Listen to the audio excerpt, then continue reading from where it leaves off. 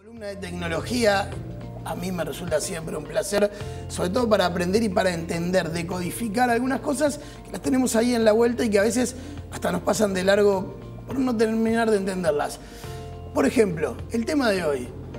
¿A vos que te parece una cosa súper vasta la web, inabarcable Internet? Bueno, eso a lo que accedes cada vez que entras a Google y pones una palabra para buscar y te parece tanto, es entre el 5 y el 10% de la Internet, de lo que llaman Debajo de eso es la Internet profunda, mucho más vasta, mucho más grande y todavía mucho más inabarcable y capaz que difícil de entender. Eso nos lo dirá Fernando. Buenos días. Buenos días.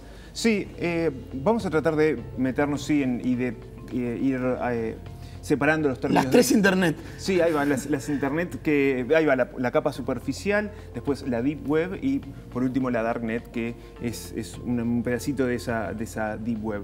Eh, el término, entonces, Deep Web hace referencia a todos los sitios que no son accesibles por los motores de búsqueda. O sea, mm, por ejemplo, eh, sí, eh, o sea, bueno, también se, utilizan más términos, no solamente Deep Web, sería eh, Internet profunda, Internet invisible, etc. Y mm, parece como un poco, un poco avasallante, ¿no? Cuando decimos, sí, es el 90% de, eh, de la Internet, entre el, 95, entre el 90 y el 95. Cuando ya el 10 nos parece inabarcable. Sí, sí, sí, sí. Pero claro, eh, es necesario, es útil algunas partes eh, privadas de la Internet, o sea, en, esas partes, en esa deep web, no es público y eso, se pueden establecer comunicaciones no monitoreadas, se pueden, es muy difícil de rastrear además, o sea, eh, es como una parte medio como muy libre, muy salvaje, pero necesaria, como decía.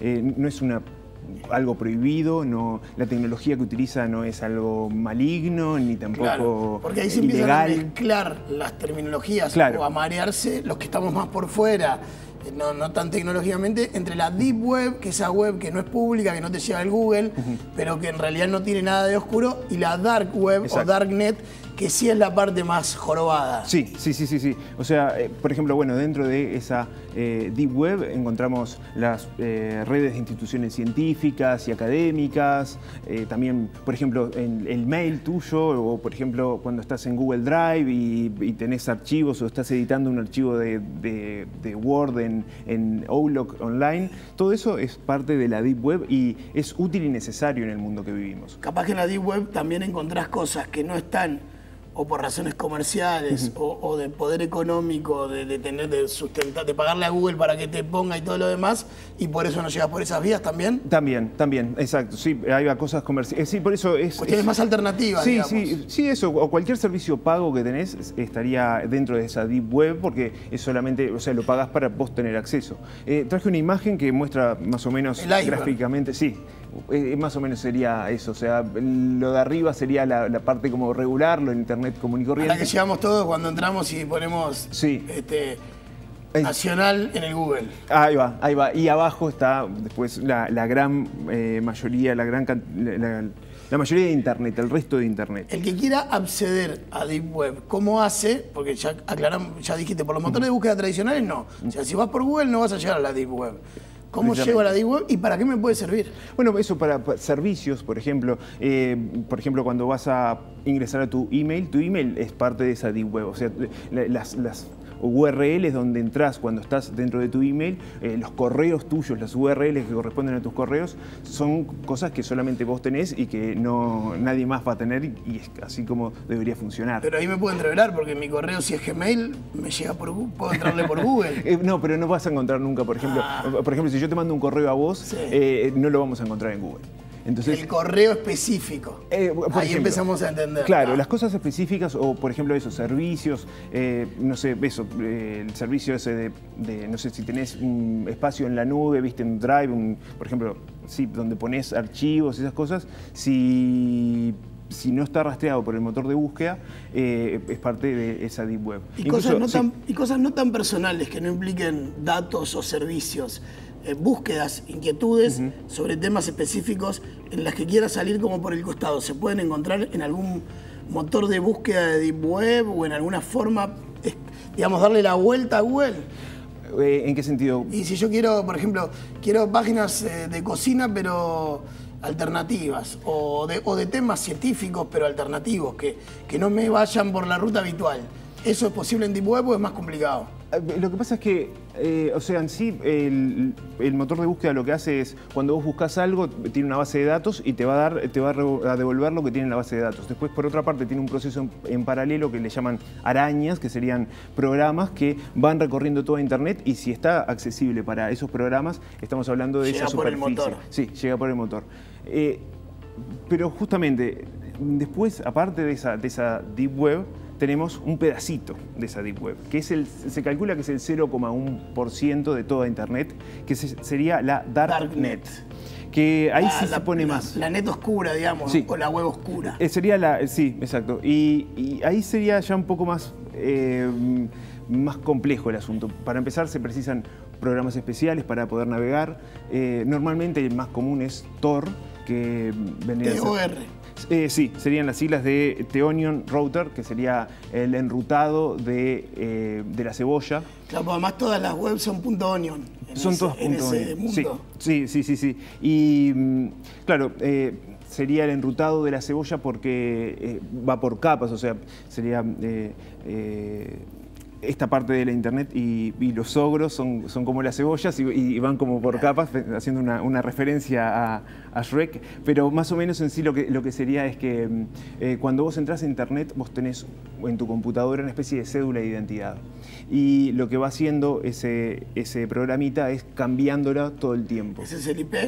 De sería, sí, sí, sí, sí, sí. Entonces, de esa manera eh, pasas a ser eh. Irrastreable o Sí. más difícil de rastrear. Sí, muy, muy difícil de rastrear. Eh, el proyecto Tor eh, fue hecho por eh, la Marina de los Estados Unidos y fue liberado en septiembre del 2002, o sea, todavía no es mayor de edad, y lo utilizan muchísimas personas, tiene 2 millones más o menos diarios de personas navegando en Tor y usando Tor, y lo descargan más de 50 millones de veces por año, y eh, hay más o menos unos 100.000 sitios web ocultos. Más o menos se calcula que son 100.000.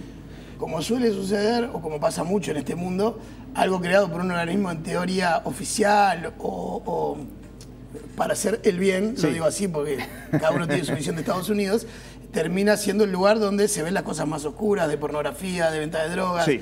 de yihadistas, Sí, sí, sí, o, este, haciendo foros para mandarse comunicaciones sin que el mundo sepa.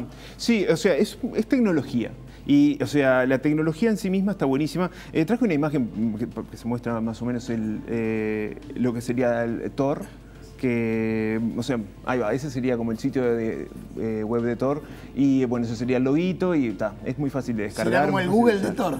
Eso en realidad con eso se te lo descargas y después a partir de ahí eh, Ah. lo utilizás y en general si se apoyan otros navegadores, tiene una vuelta rara, lo importante es, es que sí, que, que con eso es que eh, es lo que usás para poder navegar.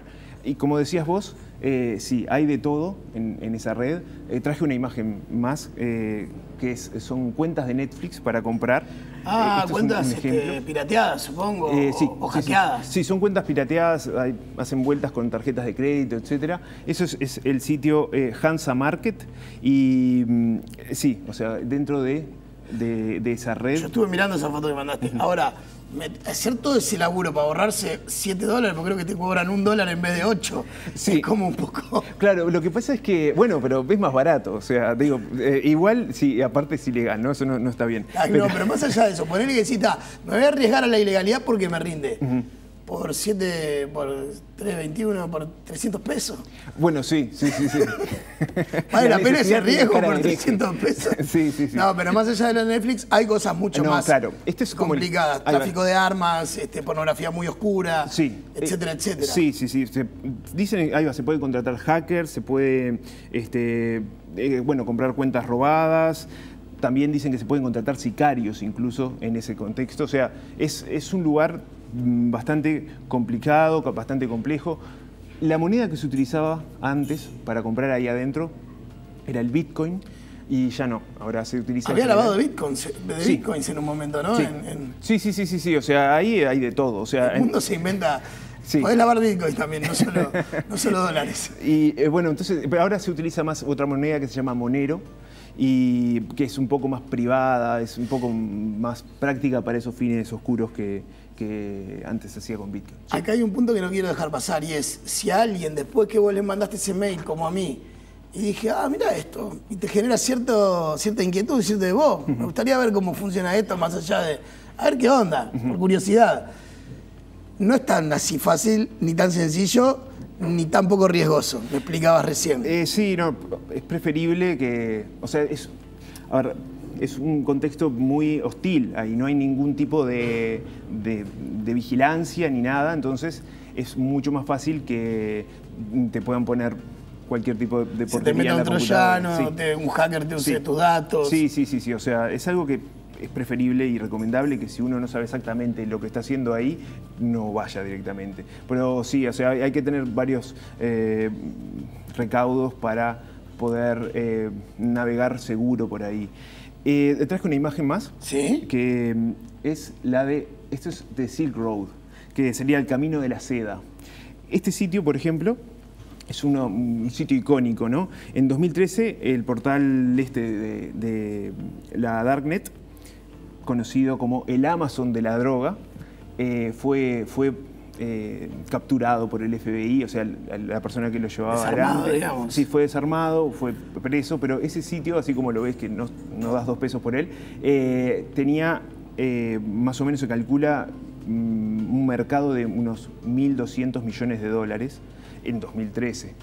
Y mm, fíjate que tanto es así, este tema de, de los Bitcoin y esas redadas del FBI, que en el mundo ese Bitcoin, en el universo Bitcoin, viste que el número uno es Satoshi Nakamoto, o sea, el que tiene más Bitcoin de todos es, el que lo hizo, y el número dos es el FBI gracias a estas redadas, porque mm. esa es la cantidad de plata que se manejaba en ese momento. Que, digamos, sustrajo de, esas, de esas capturas. Sí, sí, sí, sí, sí, muchísimos millones de dólares. O sea que como en algún momento los espías, y todavía hoy, en realidad de los distintos estados y seguridades nacionales interactuaban en el mundo y se trataban de ser topos, eh, en esa dark web también debe haber eh, hackers de la CIA laburando, hackers de seguridad del Estado, hacker hackers, digamos. Todos interactuando, tratando de agarrar unos a otros y escaparse. Sí, sin duda es así. ¿Viste la página que te mostré de, de, Netflix? Sí. Bueno, en esa, esa página, que también funcionaría como The Silk Road, eh, fue tomada por el FBI. O sea, fue tomada eh, y en lugar de cerrarla en el momento, lo que hicieron fue mantenerla para poder cazar, gente. Para poder cazar gente. Y dicen que lo mismo pasa con esta otra que eh, traje, traje Dream Market, se llama la página, que ahora está funcionando, es también como The Silk Road para también comprar cualquier tipo de cosas. Sí, sí, eh, eh, ahí va, ahí va. Y parece que va a cerrar el 30 de abril esta página.